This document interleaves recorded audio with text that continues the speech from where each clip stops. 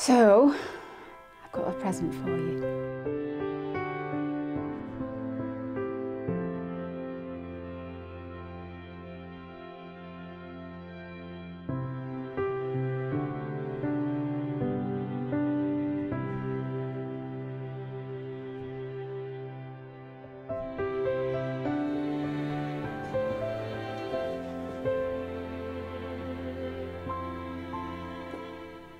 Isn't that one? Isn't that one? Yeah, it's the one that Grandpa sculpted for Grandma when he proposed to her when they were young. The ring just fitted in there.